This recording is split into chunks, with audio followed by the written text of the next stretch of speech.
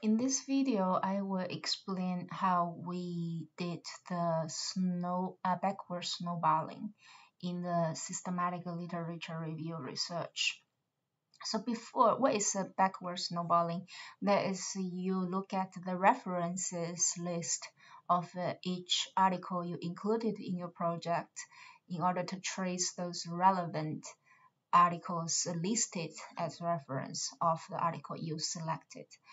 So um, to actually decide on the references list, uh, we have to decide what journal articles or what publications we choose um, to to consider their references.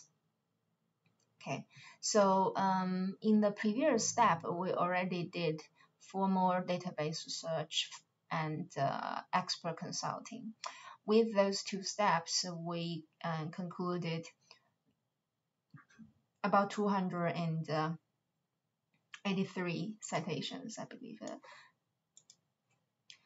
And for sn backward snowballing, we are going to only include journal articles uh, which were published in um, SSCI indexed journals, which we marked as one, and uh, at the same time, it should be positioned in the quartile 1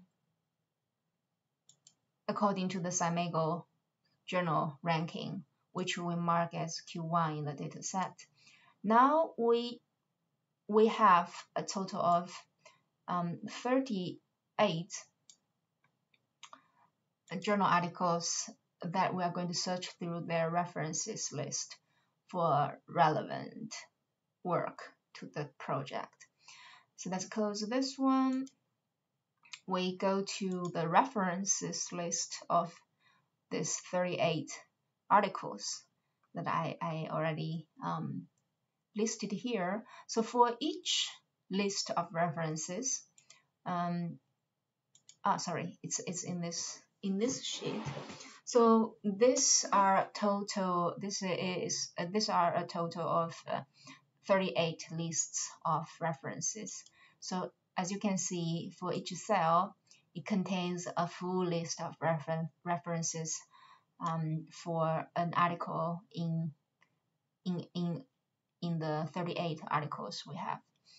Now what we need to do is to separate in this complete for um, to separate the references from each list um, for better comparison, comparison because we're going to have uh, um, duplicates, for instance, across these lists, right?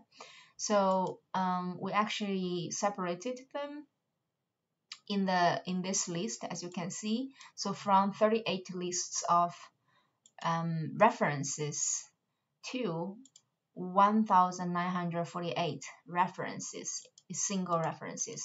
Uh, each reference each reference occupies one row.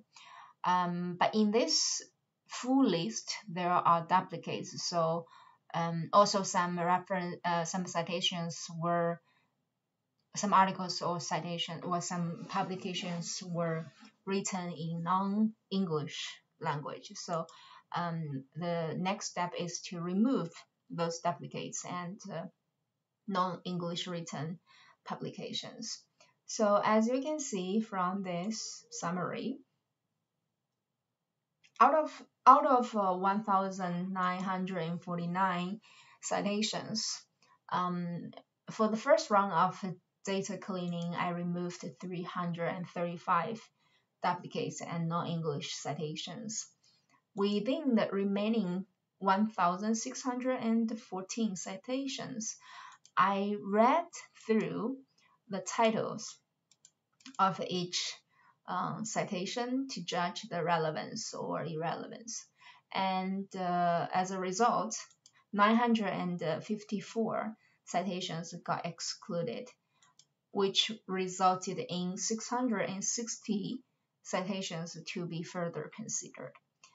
So this is the list of uh, 660 citations currently under consideration. As you can see that, you know, in this list, it's still not perfect.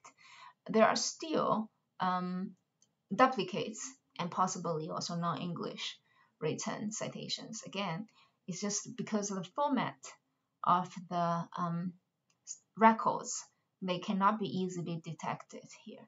So what we needed to do is to further separate the elements of each reference. Let's say authors, year, title, and the source of publication. They should be separated. So that is exactly what we did. So um, we separated this, as you can see. It's it's not a very easy job. It involves it, it involves um, extensive manual sorting of the data, but in the end, it actually um, it actually actually further removed the duplicates and non-English written literature from the um, citation list. Now we have 594 unique citations, which will enter into the relevance coding in the stage of backwards snowballing. So the relevance coding in this stage will be explained in another video.